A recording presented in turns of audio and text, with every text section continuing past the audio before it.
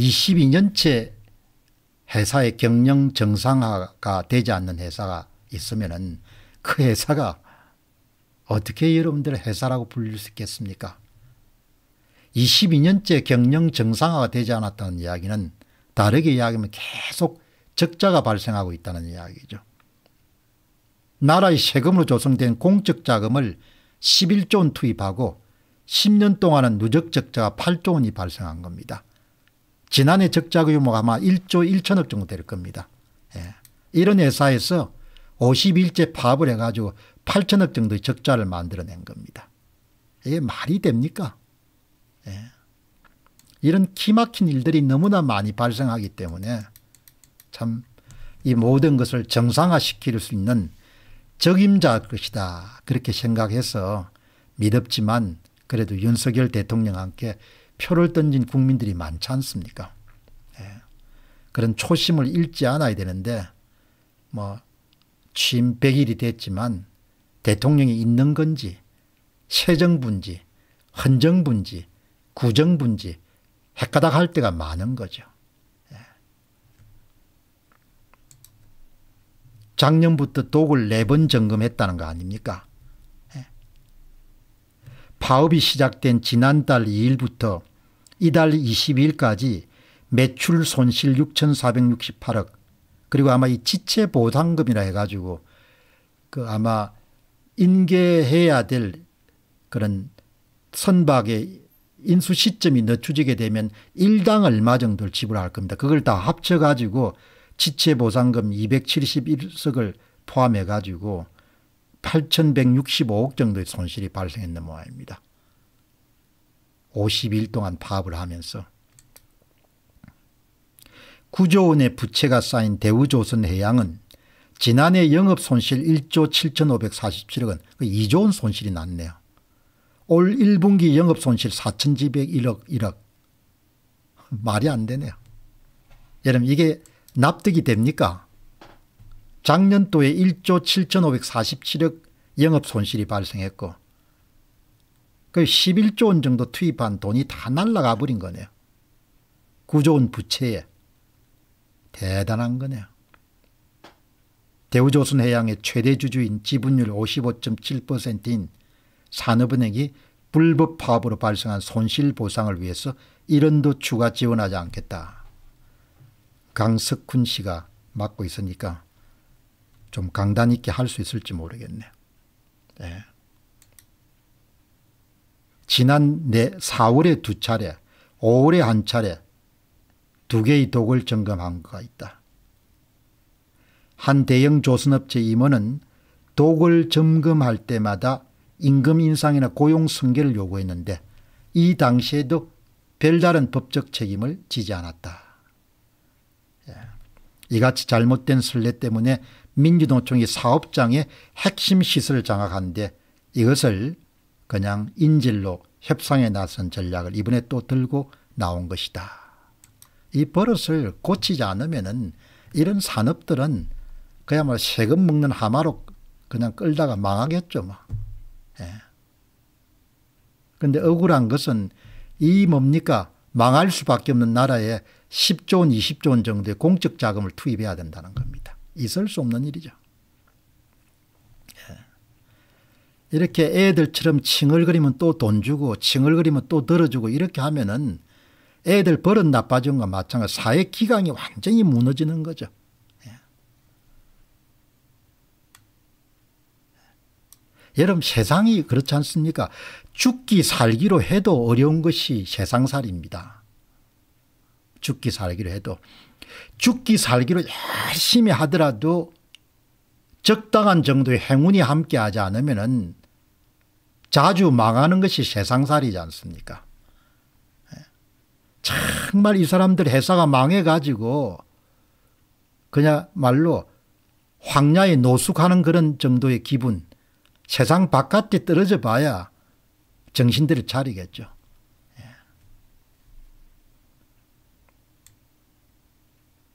이런 회사를 누가 살려고 하겠습니까 예. 오나가 있어야 되는데 한때 하나그룹이 살려고 했다가 뭐 그때도 뭐 이렇게 여러 가지 그냥 노조들이 방해가 좀 심했죠.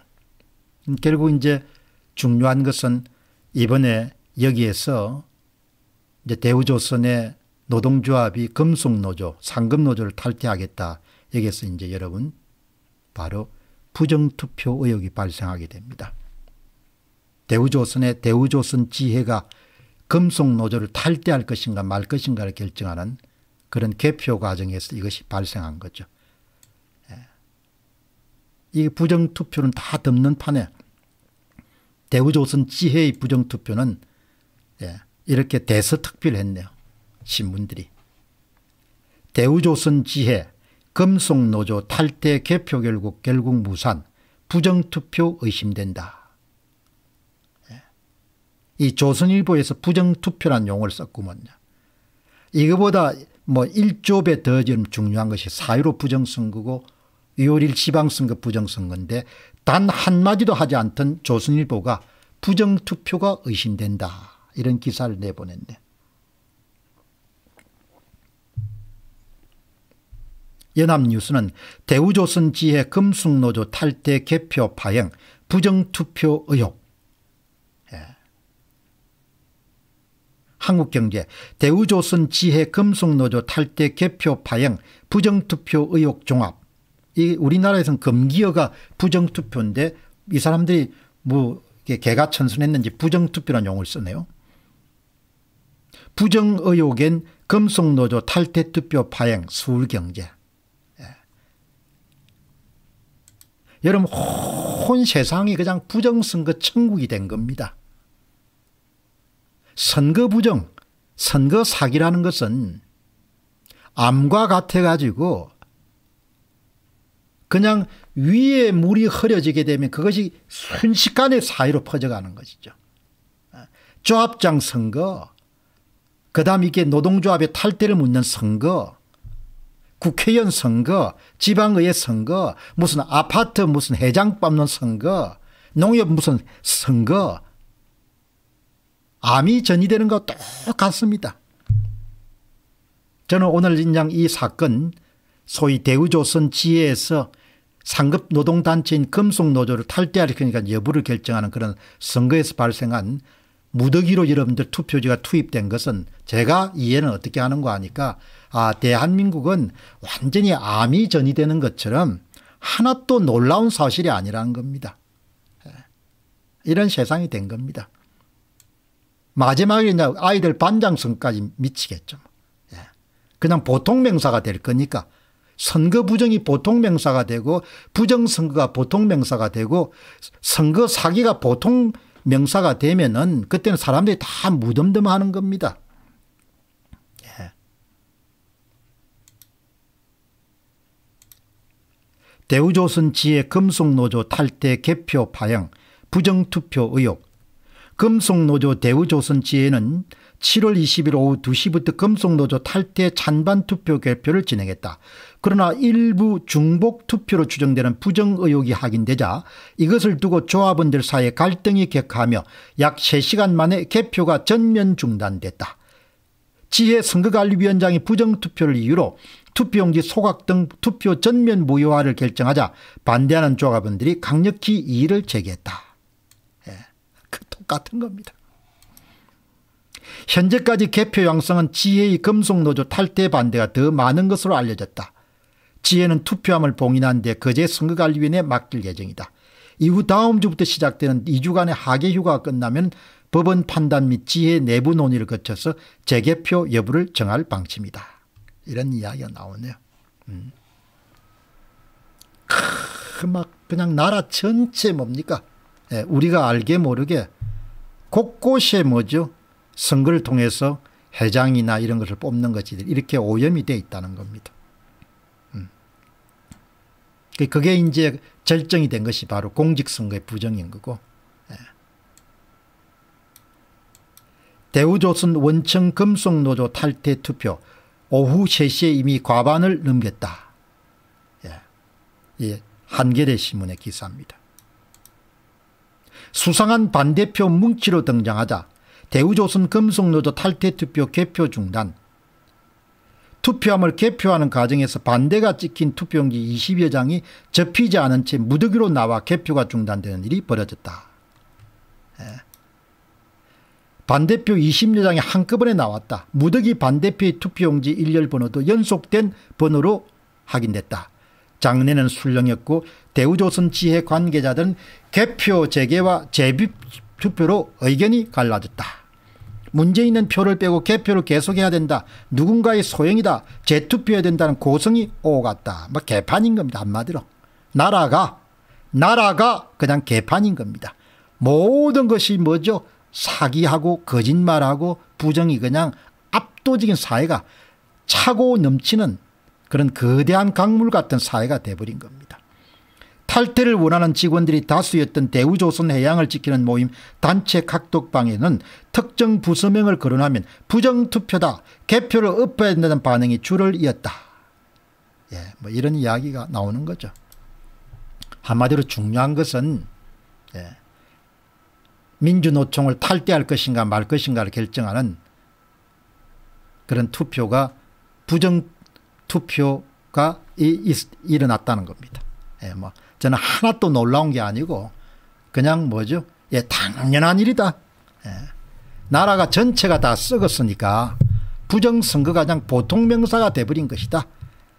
그냥 일상 속으로 선거 부정이 깊숙이 들어와 가지고 그냥 사기 바깥에서 유독 대한민국에 사기가 많은 것처럼 선기 사기도 그냥 그 중에 하나가 돼버린 겁니다.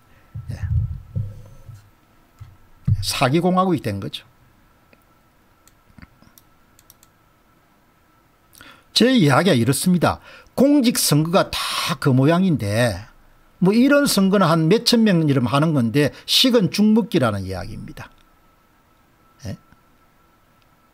공직선거가 다 썩어 빠졌는데 공직선거가 다 썩어 빠져도 그걸 고칠거나 그걸 보완해 가지고 그걸 정상화시키려고 하는 의지가 없는 사회가 됐는데 이건 뭐 그렇게 놀라운 일이 전혀 아니라는 겁니다. 예. 시민들 생각도 마찬가지입니다. 좌익들은 대선 총선도 부정선거 하는 판에 저 투표 조작은 끔이지.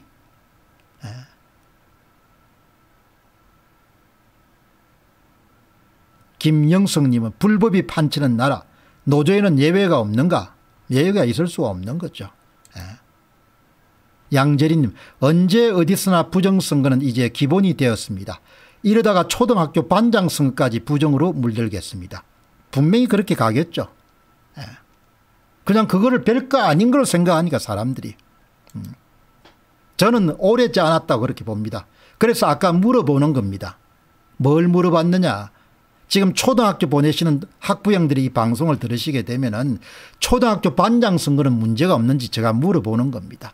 예. 위에서 뭡니까 그냥 썩은 물이 섞이면은 하류까지 다 여러분들 퍼지는 것이 그래서 정치라는 상위 질서가 정의감을 유지하는 것이 굉장히 중요한 거죠. 그렇지 않으면 전체가 다 썩어버리니까 이게 이름 사례인 겁니다. 이 양재리 님이 아주 그냥 좀 냉소적으로 표현했지만 문제의 핵심을 정확하게 지적한 겁니다. 언제 어디서나 이 나라에는 부정선거가 기본이 되었습니다. 이러다가는 초등학교 반장 선거까지 부정으로 물들겠습니다. 이게 정답인 겁니다. 이걸 걱정하는 겁니다. 네, 이런 것을. 그래서 여러분 저는 이 나라는 앞으로 부정선거하고 여론조작 때문에 참 어려워질 것 같다는 이야기죠. 여론조작을 가지고 밑밭을 깔고 그 다음에 부정선거를 하는 겁니다. 선거 사기를 치는 거죠. 지금까지 이런 친 사기는 프로그램을 만들 프로그램을 돌려가지고 후보의 사전투표 득표수를 만든 거 아닙니까? 거기다 당일 투표 득표수를 합쳐가지고 총 득표수를 가지고 당락을 결정한 겁니다.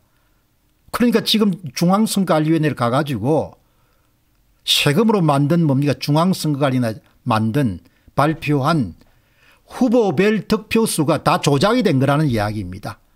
후보별 득표수의 큰 파트를 이루고 있는 사전투표 득표수를 전산 프로그램을 돌렸으니까 그 짓을 2017년은 대통령 선거부터 한 겁니다. 그것이 많은 부분이 이렇게 밝혀진 거의 전부가 밝혀진 상황에서 신임 대통령이자 검찰총장 출신이자 스스로 입으로 공정과 상식과 정의를 외치고 약속했던 뭐 계약서는 안 썼지만 윤석열 대통령이 그냥 입 싹 닦고 있는 겁니다. 난 몰랑 이렇게 하는 겁니다. 응?